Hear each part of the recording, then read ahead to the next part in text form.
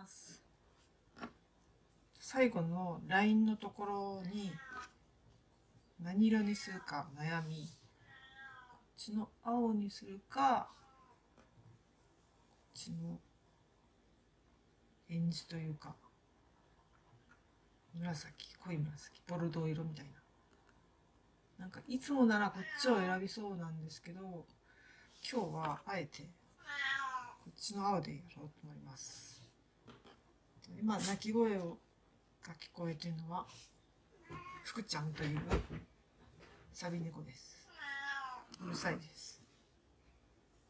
では、えー、フィルティングをしていこうと思います。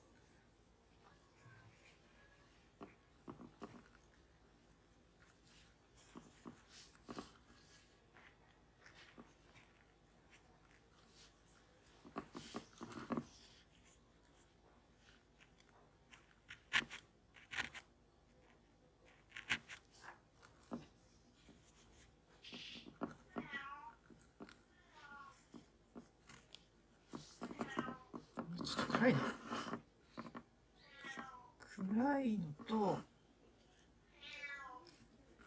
私はちょっと老眼が入ってきているので、メガネをした方がいいかもしれませ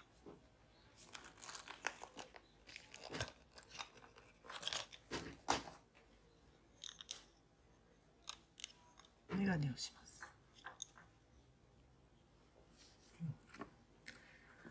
ちょっと手元にもちょっとライトがあればいいんだけど。うん実はあんまりフィルティングは慣れてません。そう考えると、歌丸1号が作ったのがほとんどというこ